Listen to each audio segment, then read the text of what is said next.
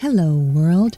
You're listening to Eleanor Wagner's Strange and Scary World here on the Paranormal UK Radio Network, where we're always creeping it real. I'm your host, Eleanor Wagner. This is episode five in the Lady Ghostbuster series. Today's guest, at the ripe old age of 27, is the youngest member of the Lady Ghostbuster team, and he's one of the few male team members. Let's give a warm welcome to John Matthews. Hey, John. Hey, how are you? Good. Thank you so much for coming. It's my pleasure. Do you personally have any special gifts or talents that help you when you're paranormal investigating? Well, I'm a conduit. So a lot of times, not only can I sense that there's something there, but I can communicate with them. Okay. Oftentimes, I can also get an image of what they look like. It kind of helps me identify them. I've heard some people who get images like that in their mind take to drawing. Are you good with drawing? That maybe you would be able to draw a similarity? Well, I have hand tremors in both hands, so drawing's not my strong point. Mainly, I can match them up to photos a lot. Done that many times. Oh, okay. Even on my own, just by chance. Ah, and do you recall what your first paranormal encounter was? As a kid, I was working on a piano. I'm a piano technician and had a had something brushed behind me in a very narrow hallway and I glanced up, saw it out of the corner of my eye, thinking it was the owner, and the owner was back at her desk when I went to go ask a question on to the other side with no other way for her to get there. And I looked back and there was nothing there. And so what did you immediately think? Oh, I knew it was a ghost immediately as soon as I saw it. Oh, As soon as I knew that it wasn't there. Right.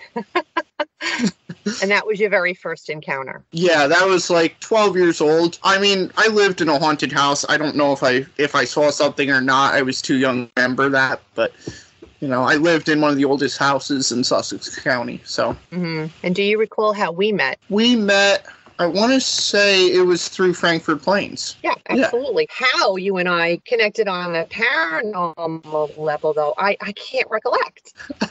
I think it was through one of your books. It might have been when Oh, you were putting together Haunted Sussex County. You be you po- you know what? You posted to one of the, one of the pages and you were asking for paranormal experiences, and I responded to you. That's how we connected. Ah, okay. Well, that makes sense. That Yeah. makes sense. Well, and we've been together ever since you've come on investigations with the Lady Ghostbuster team quite often. Yeah. And I really value your input when you do come because of your sensitivity. I really find it helpful in getting to the root of something that may be in the house or building that we're working in. Do you even remember what our first investigation together was? I it was the piano shop. Ah, okay. Let's tell the listening audience about the piano shop. Okay, so I'm a piano technician and I work at this piano store outside of Allentown, Pennsylvania, which is heavily haunted. I had seen stuff in the past and I invited Eleanor here and her crew out to investigate and that's how I got connected with the group, really. and we want to get back out there again one of these days when we have an opportunity because the it, the paranormal activity has not ceased it actually continues you say No, and one of my one of the newest employees actually saw a figure in the same area I saw my first one there in the big Ah. room. So yeah, he told me about it. He saw somebody standing in, in one of the in one of the areas, sort of hiding behind where that mannequin used to be. oh okay did this person know that it was haunted or just say oh my god have you seen anything strange or I think he had heard inklings, but when it came time to actually see something, he was kind of freaked out. right probably he was probably one of those believer disbelievers until it actually happens to them and then Exactly.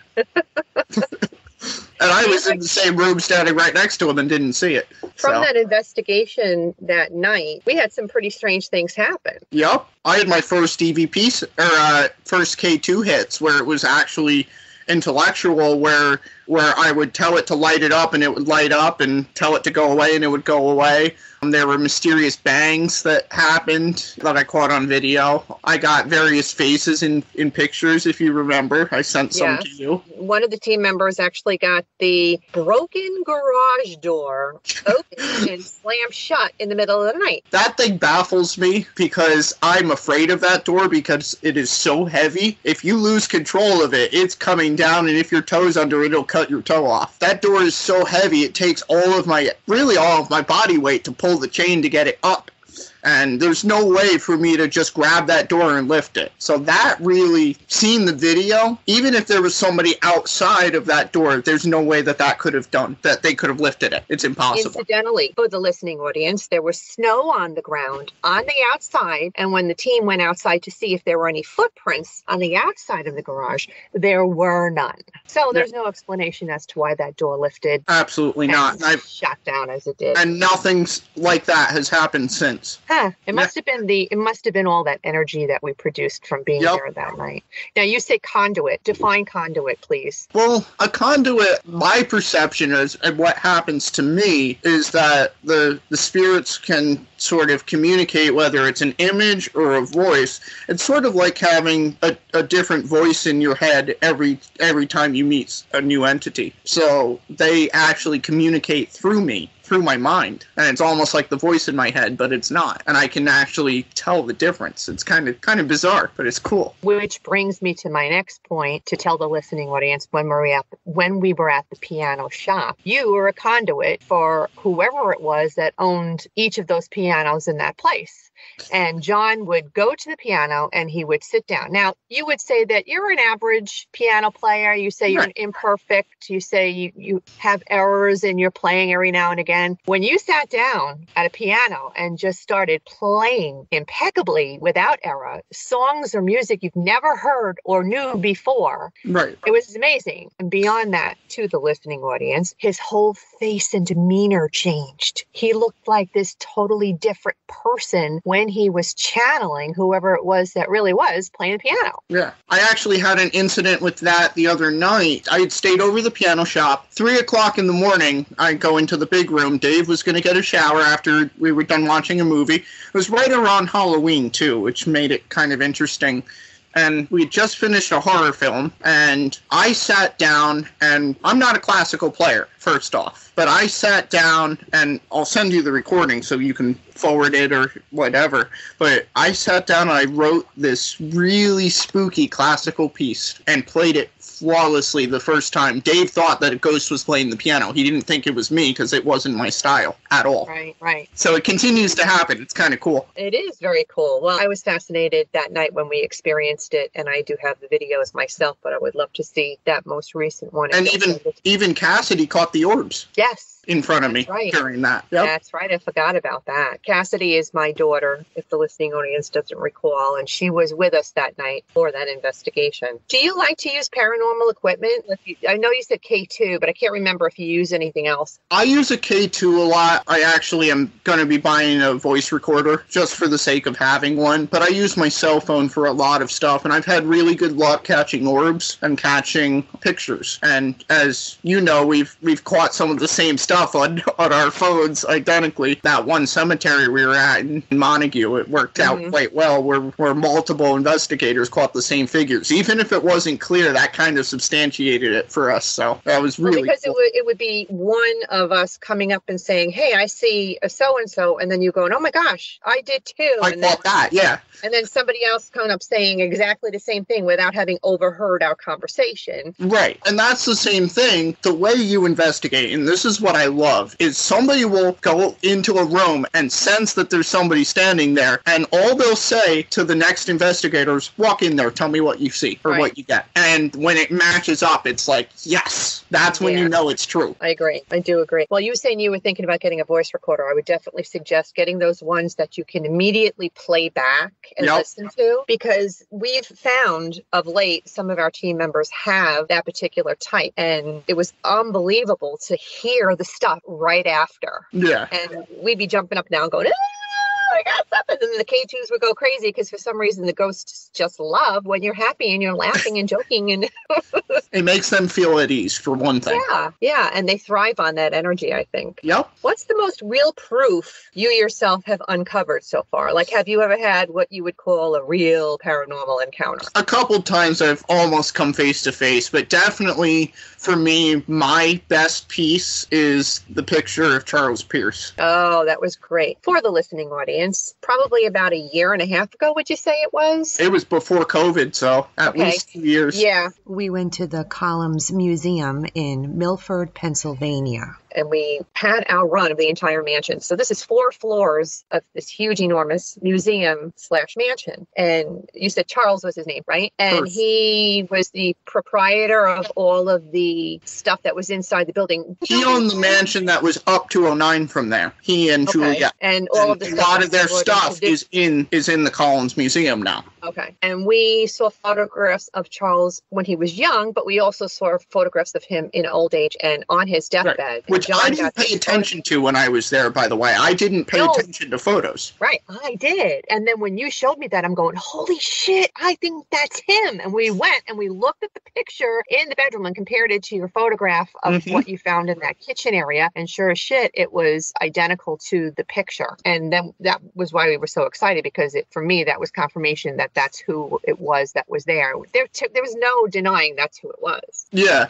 And the other cool thing was for me, not only did I capture it in one picture, but I got like five different pictures where there was nothing there and then he slowly moved into the frame and then he was on the last one he was full form, totally developed, you know, no pixelation or anything you could tell he was standing there. He blocked out that street lamp too, remember? And you could see as he moved in then the street lamp disappeared. Yes. And I know that we also had some contact of some sort because of the Lincoln flag, because they have a, a flag on Right. display in the museum that From has the- Lincoln's blood on it. From the Ford Theater. from- right, the night that he was assassinated. Yeah. And I know some stuff happened with that as well. We had a really large group that night. It was Yeah. probably, I think, 13, 13 of us, I want to say, but I broke us up into separate groups so that each group would take a floor at a time and we weren't on top of one another. And sometimes you get a little worried when you have such a large group because you don't know how people are going to interact or get in each other's way. But we seem to really have a good rapport with one another and we managed to do a good job of it and never step on each other's toes. And That was by far my favorite investigation so far. Really? Yeah. Yeah. At one point, we found ourselves, everybody, down in the basement. Something had arisen with Art Peterson, and I think it might have been Laurel, but I'm, I'm not 100% sure. I don't really recall who it was, but they started having some major like interaction, and just everybody came and we surrounded and we all listened in, and it was pretty amazing. I was really impressed with that. Incidentally, in the new year, probably January or February, we will be doing an investigation at the historical mansion in Lake Wallenpaupack. I think Really? the Wills Mansion, so I will let you know. Yeah, they Definitely. I reached out to the Historical Society and they were very excited about it. And obviously, weather permitting, because where we live in New Jersey and Pennsylvania, we get snow. And when we get snow, we get snowed in. So I'm hoping that it will work out. But if not, I know it's one of those reschedules that'll happen. I'm- I'm looking forward to that. Definitely. What scares you the most about ghost hunting? Some of the stuff I've seen, like demonic entities, stuff that I could tell is not something you want to be messing with. Like that one child that I found in the one house. I was just going to say, out of all the investigations we've done together so far, that's probably your least favorite because I could still sense your uh, nervousness. You were definitely nervous. You were, From the moment I saw it, I walked out. And this is kind of weird. It was a if you ever see a horror film where there's an entity that's really scary, sometimes it'll glitch. Where where say you'll see for a split second here, then it'll be here, and then it'll be here, and it sort of it sort of freezes. It doesn't move smooth, it glitches is the best way I can describe it. And this was a child and it was all gray and black. a child, non-child, because if I remember, you said this entity was never human. It was looked like a child. portray- it was portraying itself as a child, but in life, it never was. And there was blood everywhere on the floor around it. And it was in this random couple's house. It was an old Victorian in Mhm. Sussex. And there was a, an actual ghost in the building, an elderly man who was trying to talk to us. I don't know what he was trying to say to us. And I saw him from the beginning. Right. But this evil entity, child thing, would not let him speak. Yeah. And that was one, and I even talked to another one of our investigators privately about, you know, how to how to handle something like that. That's one of my fears is bringing something home like that. Thank goodness it didn't follow me. I do know that if you take means to protect yourself, you can be safe. Like I use protective oil. I have this kinseed charm that I wear. I have quartz, my quartz bracelet that I wear faithfully. If you do stuff like that to protect yourself, you're not going to bring anything home. And that's aside from you saying you're not allowed to leave and come home with me, which exactly. is something that we do at the end of every investigation. You may not come home with us. I do remember walking into that house though and thinking, because I'm one of those people that loves history, loves historical homes, especially the old Victorian colonials. And I was excited to go into that house. And I remember walking into it and going, Ooh, I don't like it here. Ooh, that and the Phillipsburg investigation was the other one. That was Ah, that's the one where you almost got thrown down the stairs. That's the one where I would if you if I would sit limp, I would be pushed back towards the staircase. Yep. Right, right. Well, for the listening audience, I knew all of the facts about that investigation because I'm the one who writes the chapters after I speak to the people in an interview. So I knew what had been going on with the homeowners in that particular investigation. But when our team members show up, I don't tell them that information. I'm the only one that's privy to it because I really do want to see if they pick up on things themselves that will collaborate what the homeowner or business owner has already told me. So when John came into that investigation, I already knew that the woman of the home had said that there were incidences that she was almost pushed down the stairs. And then the other medium that was there that night had said she also saw somebody beating someone downstairs in the basement, which was collaborated by the homeowner when she said her grandson was told by a mean man that he could not go downstairs in the basement because if he did, he would beat him up. No. So when you said that you were being pushed towards the stairs, it kind of freaked me out. And I do remember telling the well, homeowner. Right from the beginning, I had to pull myself up the stairs. Do you remember that? I couldn't even walk up the steps. I had to pull myself by the banister. Right. They did, whoever it was didn't want you upstairs in right. that area. Exactly. I think it was that main center hallway. Yes. Area. And that was a small, tight house to begin with, too. Not enough, uh, not a lot of room for things to hide in it. Right. If there was a person in that house, chances are you'd run into them real quick. Right. And I'm talking a living person at that. Yeah. So. I don't know if I told you about what had happened after the fact. If I, when I followed up, I don't know if I filled you in on what happened, but the woman, no. we recommended to the woman because now she had moved out of the home and she was fixing it up to rent it out. And that right. following weekend, a young couple was moving in with their five year old child. And she was really concerned about that. So we recommended she get a house cleanse. So I connected her with Jackie Hangley, our team member who does house cleanings, and she did do a cleanse of the home. And then she locked it so that whatever it was could not get back in. And I thought about it after the fact because that area is pretty heavy paranormal activity wise. And I thought to myself, oh my goodness, I wonder if any of the other houses in the area would have any activity after she locked it up that they went into another house. Oh, I hear your cat Spot. Before I got my big grand piano in the back bedroom, she growled at something that wasn't there in the middle of the night. Just stood up and oh. on her oh. haunches and growled. So she's definitely my protector. She but definitely anyway. lets you know if something's around. Yep. So you said when you first had your grand piano, she growled at something in the corner? Oh, it was before I got it when my bedroom was still the, the master. I gave it up for the piano. Oh. Yeah, in relation to that Phillipsburg house, recently, now Warren County Hauntings was just released, what, three or four weeks ago. And so now people are getting wind that it's out there. And I receive emails from readers, and one of them said, Oh my goodness, when I was reading your book, I was shocked to find out about that home in Phillipsburg. He said, Our experiences in that home are identical and then some. Wow. So this this gentleman and his wife are going to give me their account of what happened to them in that home. That's great. Pretty cool. I love when I hear that stuff. Something else is coming out in Sussex 3 that's similar. There was I get stories from people in the most oddest of places. I was out with Cassidy, we were getting pedicures and we're sitting there and we're catching up because that's like mommy and me time. Yeah, mom, what's going on? What was your last investigation? What happened? Blah blah blah. And the nail technician is, you know, all ears perked listening and she goes, "Oh, you do that stuff?" And I'm like, Yeah, I'm the one that wrote the Sussex County Haunting series. Oh, that's you? Yeah. Wow, do I have a story for you? so she starts to tell me about this place that her and her boyfriend lived in. And what a crazy ass story she tells me. So I'm like, hmm, I'm going to go and stop at this house and knock on the door and, and give them my card and ask them if they want to share any stories with me. Well, when I got there, the house was for sale.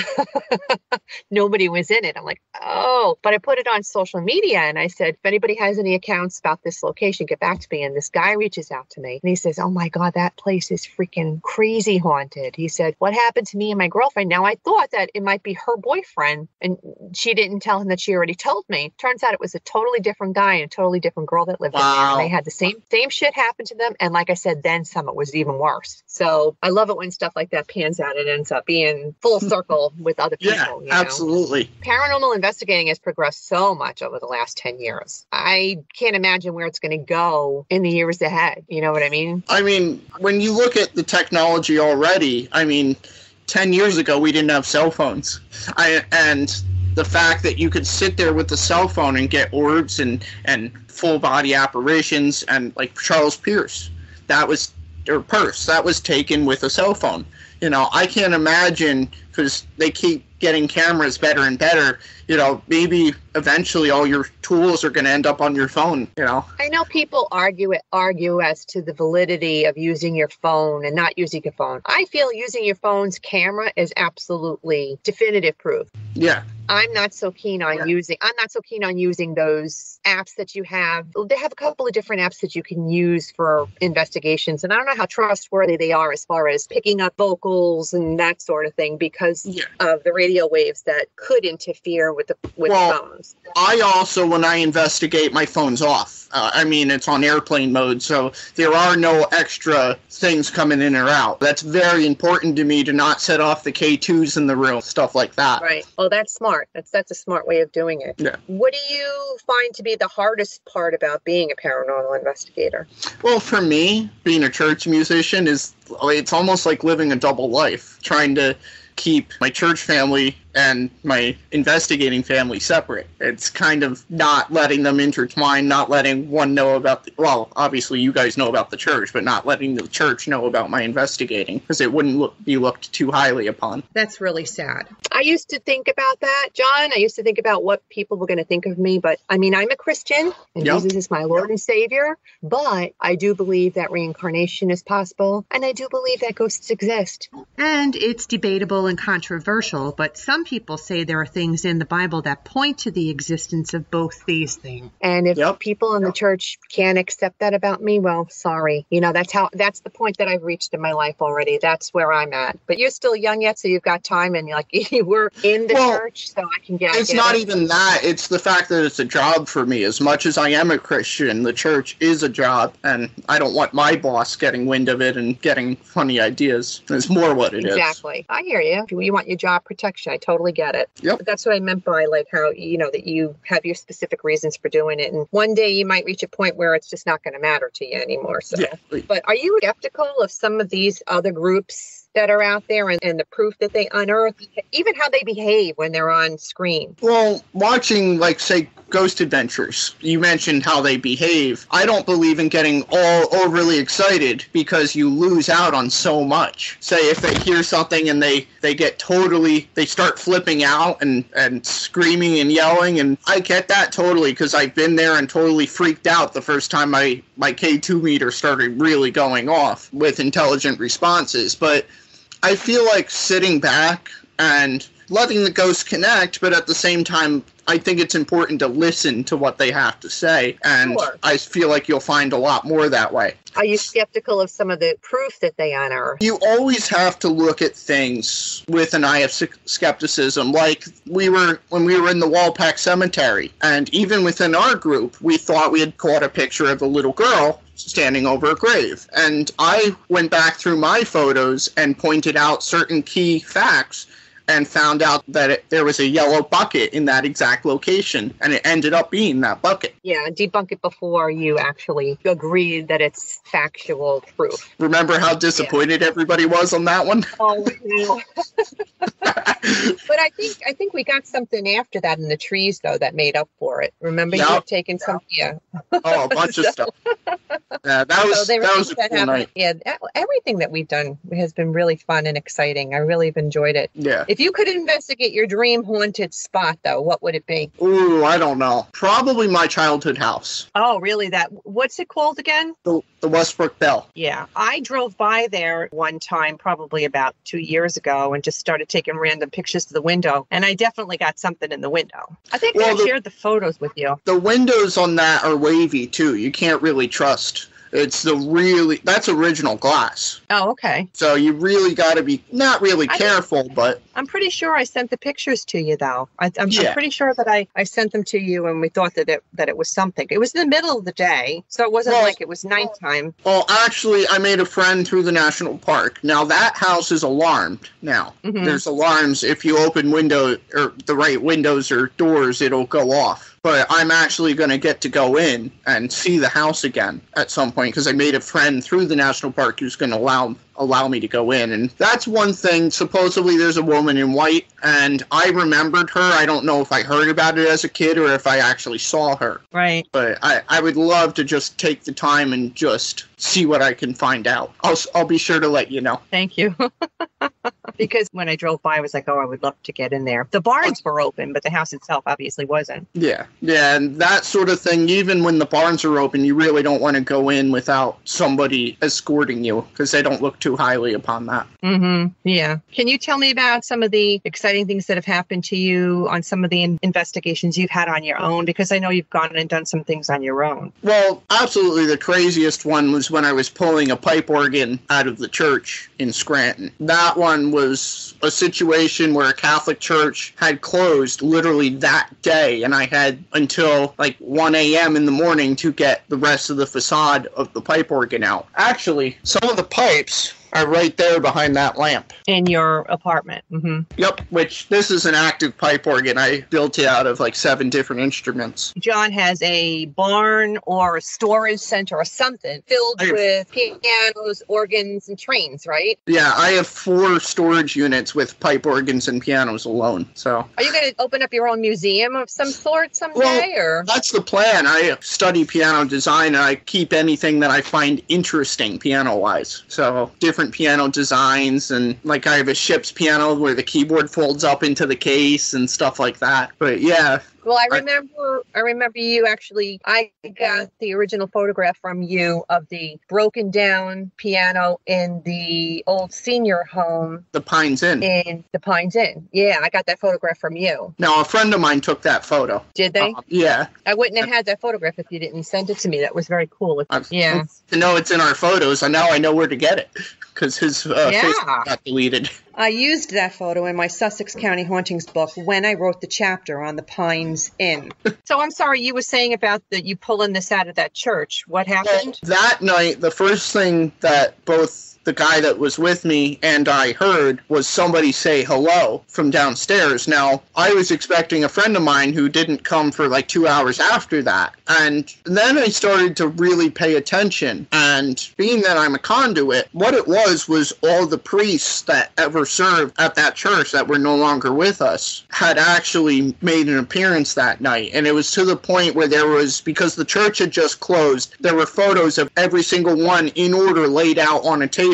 And I could actually point to which priest it was. Oh wow, that's cool. That was Yeah, that it was, was- talking through It you. was bizarre. Wow. The founding priest tried to throw me off the balcony that night. Oh, I think I remember you telling me about that. the guy who I was pulling the organ out for was downstairs by the altar area. I was in the balcony and he literally, I never saw him. He saw him fly up over the balcony rail, run at me, lunge at me, pushing with his hands out. And I felt something. I, I remember distinctly feeling like I was going to go over the edge and I stepped back. And apparently he flew down and flew right through him and disappeared. What with with these ghosts that want to push you down balconies and stairs, for goodness sake. Yeah, I know.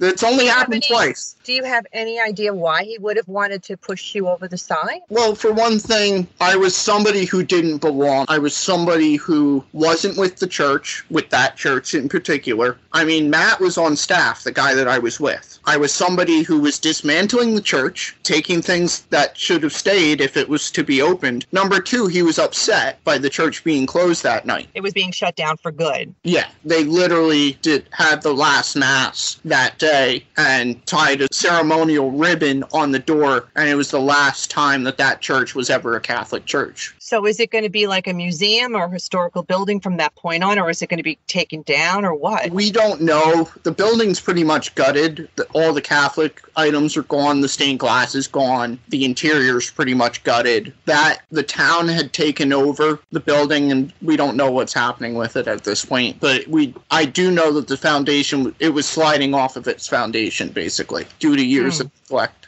Oh, that's sad. Oh yeah, definitely. Out of any of our team members, you and the only other person I let anything like that has ever happened was Tara, Tara Really? And not, it was probably, I want to say maybe a month or so ago, she calls me and she said she had the, the freakiest thing happen to her where she was behind the wheel of her car and she actually felt something try and make her turn her wheel off the bridge. Wow. And it flipped around because she had to do everything but control herself to hold on to the wheel. And she said, I may be depressed, she said lately. She said, but I'm certainly not suicidal. Yeah. She said it was the, the weirdest thing that it happened. And she said she's actually hesitant now when she goes over the bridge that whatever it was was trying to make her drive off the bridge. That's crazy. Nuts for sure. That's one of my fears. If you've ever watched The Haunting of Hill House, there's the one scene where they're driving and the ghost of their mom, I think it was, comes up between them and, and screams Mm. and scare and they go off the road. That's one of my fears. Yeah. So Yeah. It makes you wonder whatever possesses them to Mhm. how to react that way. Are they so desperate for your attention or are they angry about something? I don't know, but that is pretty scary. after all, that was Hollywood cinema, but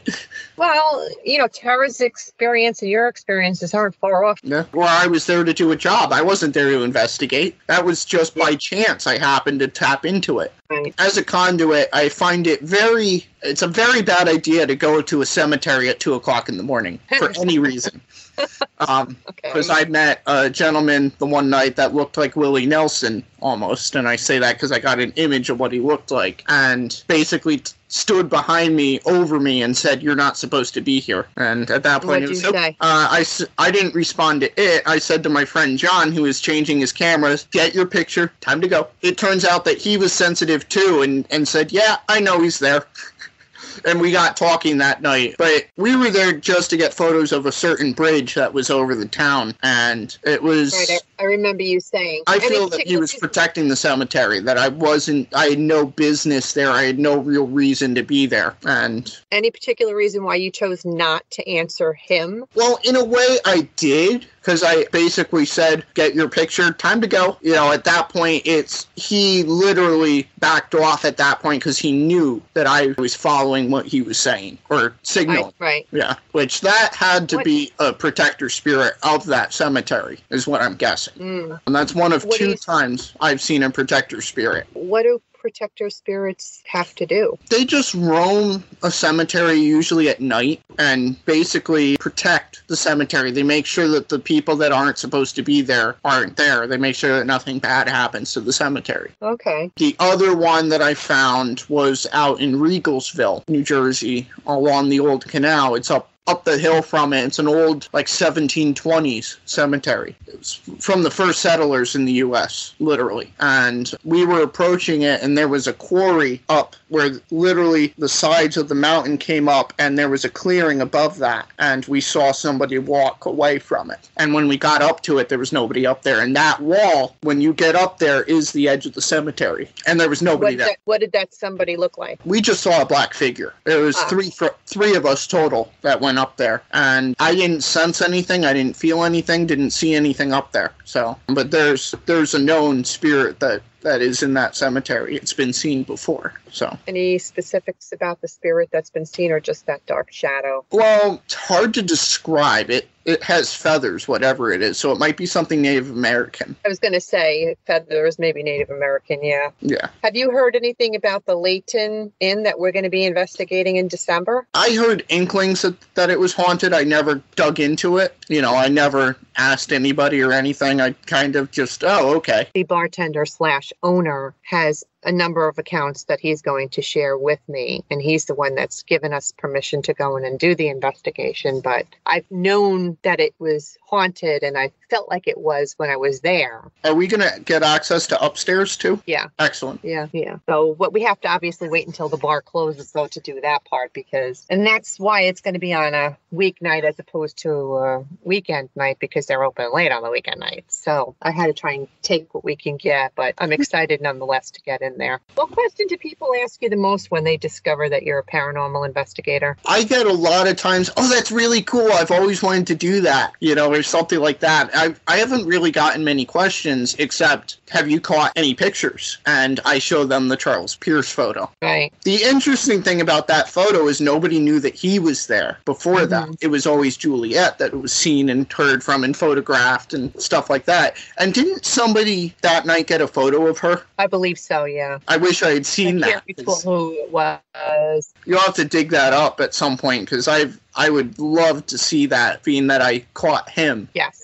Well, right now I'm working on Sussex County Hauntings 3. So I'll start pulling stuff out of the folder for that. And I'll be working on Pike County in the spring. Sweet. So I'll be going through all I'll be going through all of that. I'll I'll even end up doing the piano shop for the Pennsylvania edition because it's in Pennsylvania anyway. And I have Um, that because it's a very interesting story, the piano shop. Are you gonna put that photo in there? of yours? Yeah, you should. If you give me permission to do so, yeah. Absolutely. If you if cool. Absolutely. If you let me, I would love to. Yeah. Why Because not? that's that's something that that people can relate to. Well, I would definitely put the comparison picture of him on his deathbed because you can see who it is from Mhm, from yeah. that picture. You, there's no doubt who was in that picture of yours. You know what I mean? That was the crazy thing. Not only to get a photo, but to know who it was right off the bat. Yeah. Yeah. I don't even think it dawned on you until I had said to you, "Oh my God, I think that that's him," I and you were like, "What?" And I showed you the picture of him in, on his deathbed, and you were like, "Oh my God." Well, I didn't know about them until after because I came in late. I didn't know Right. their history or anything. yeah. I yeah. didn't. I tend to not do research until after. Oh, that's good. Yeah. Yeah, that's good. You know, that was a fun investigation. We were on the ghost tour for the listening audience. They have a ghost tour in Milford, Pennsylvania around Halloween every year. I think it starts just prior to Halloween and then goes To the first weekend in November, I believe. Right. because it starts to get really cold. And we happened to be on that tour with the gentleman who is on the historical board, I guess, for the Columns Museum. And I just happened to ask, is there any way? and as soon as he said yes, I'm like, oh, I got to jump on it because I don't like to leave it for too long because people change their minds. Right. So as soon as he said yeah, I was booking it. yeah. Definitely. You know, where, in your opinion, is the most haunted place in America? I have to say Gettysburg. Really? and I haven't even really spent a lot of time. I was literally in Gettysburg just enough to photograph two trains.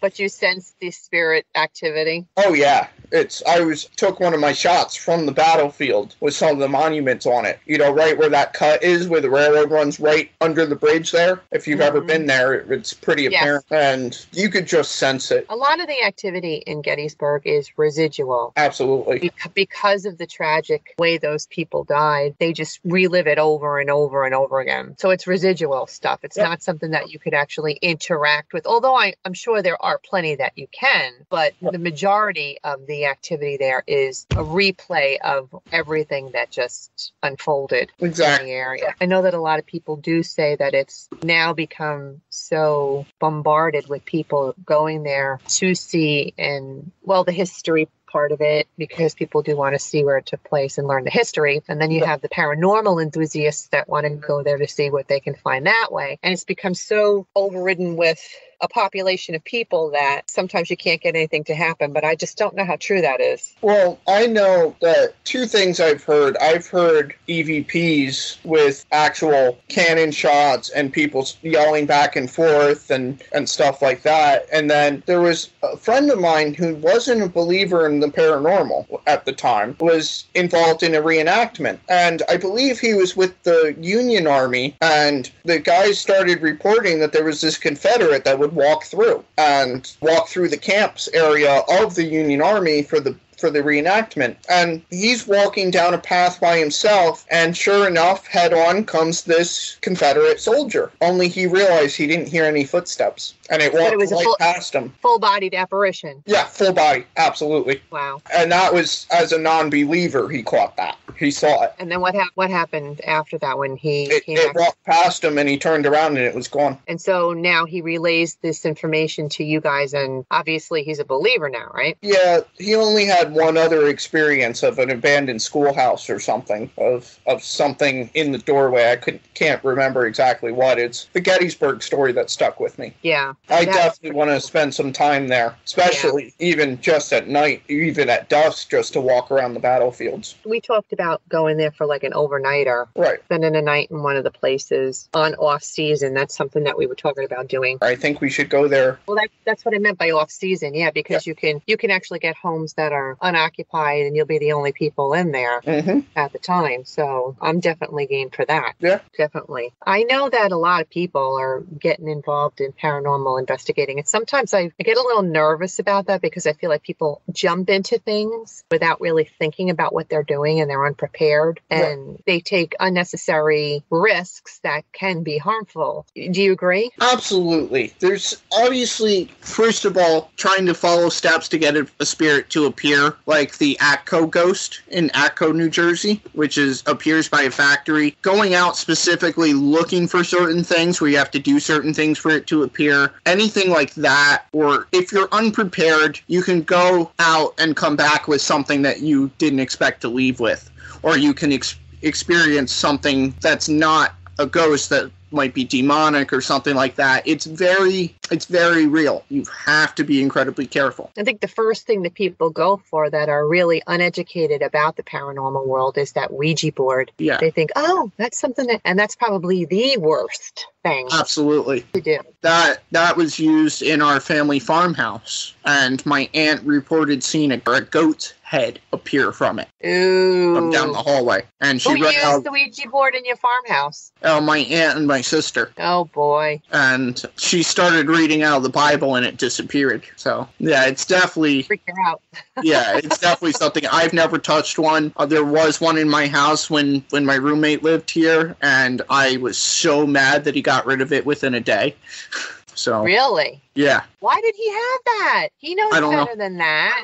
Oh my goodness. Sheesh. Did you guys ever make it up to the uh, Boy Scout camp again? I haven't. They were, and they said that it was that there was nothing going on. Huh. Because Yeah. that first time that we went there, we definitely had some Oh, there stuff was happen. there was a ton of stuff. We even got photos that night. Yeah, something growled at some of the women that were, they thought it was a bear. And then when we played back the audio, it was definitely not a bear. Yeah, And when they got it analyzed by professionals that they knew also, it really freaked them out as well. So it's kind of like, oh, I don't know what the heck that was all about. Yeah, that was definitely a weird experience. and my image of the barn too there was was weird because there is no barn on the premises. If you remember Yeah. that, but Yeah, tell the listening audience about that. I got a, a picture of somebody literally kicking somebody out of a loft with a noose, like out of a second story. It was bizarre. I've never caught something like that. You know, every once in a while I'll get a glimpse of something that might have happened. Like the Phillipsburg house, for a split second in the bathroom, I saw somebody struggling in the water in the bathtub, although the hmm the tub was empty at the time and there was Right. nobody in it. But that one definitely freaked me out because I literally saw the foot go against them and them kicked out the door. Mm, Yeah. I wonder what that was all about. Who knows? There's no barn there. Never Right. was. Not well that you know of. Yeah. We don't know the before the before. And the other other thing with that camp is it's just so huge. There's areas that you can't get to at night, like like over by the by the other side of the lake. There's cabins back there that I don't go at night. You know, mm-hmm. I wouldn't. It, it literally takes a golf cart to get around to some of those places, right? Or a quad or something like that. Yeah, it'd be interesting to see if anything else is going on over there, like later on next year. Yeah, I think there's always something going on. The other thing you got to realize is that's not far from Clinton Road and and uh, Split Rock and places like that and a lot of the activity between those roads kind of converges. There's a what's definitely the thing, what's the thing about Split Rock? I don't think I've heard anything about that. It's there's a woman in white that appears on it. There's various lights and stuff like that. So a lot of similarities with Clinton Road, the coin thing where you throw a coin on oh, on Dead Man's Curve mm-hmm. and it mm-hmm. comes back to you. Yeah, that's on Clinton Road. Yeah, yeah. Which the only thing I've ever seen on Clinton Road was the Chevelle, the ghost, the ghost Chevelle, where you come mm. across it and you see the headlights in the distance. No matter how fast you go, it loses you and it's gone by the first corner. Well, the story goes that she hit a boulder that's no longer there and died on site. Mm-hmm. They've taken out that whole that whole Dead Man's Curve. They've straightened it out. So that's before Dead Man's Curve, right. actually. Yeah. Oh, it is. Uh, yeah, that happens on the first stretch before you hit the major curve by the reservoirs before Dead Man's Curve. Oh, I see. It, where where the road does this and then it goes down along the reservoirs and turns back. That's Dead Man's Curve. This is the first one, and I've I've had that happen to me. I think I did about 50 miles an hour through Dead Man's Curve before they straightened it, trying to catch whatever it was, and I never caught up with it. Mm-hmm. It was gone. Well, there have always been sightings of strange lights going on over there too. Yeah. strange phenomena in that area. Although. I have to tell you, the ghost truck was real. Yes. Yes, I know you told me that. Yeah, you told me that. there was a guy with a with a truck that was lifted so high that he could literally go over fallen uh-huh. trees and stuff like that. Right. So yeah, I remember you telling me that. For the longest time, people thought that truck was a ghost truck, but it really wasn't. Oh, it makes me so mad when people try to like do stuff like that and then they ruin the reality of what goes on over there with their it became a legend though well that's true that's yeah. true it did well, John, this was really fun. Thank you so much for sharing. Hey, my your, pleasure. Uh, it's great to be here. Yeah, it was it was fun listening to what you've been through. I know that recently you've added to your career by taking on a position with a John Denver a tribute band. Why don't you tell us a, a little bit about that? Okay, so it's pretty much I'm the second keyboardist for Chris Collins and the Boulder Canyon Band. They're based out of Antonio, Colorado, which is cool. I can't wait to get there. And so far, I've had two gigs, and I have a third one coming up. It's a John Denver Christmas. So just Very getting the swing of things. You know, it's really exciting. I'm sure. And you enjoyed those first two, huh? Yeah, especially the first one. It was one of my dreams to play my own piano on stage, and we made it happen all the way in Connecticut, no less. Oh, how exciting. Yeah. So now you'll get to do a John Denver Christmas in Easton, Pennsylvania. We're very excited to have a celebrity in our Lady Ghostbuster team. well, thank you.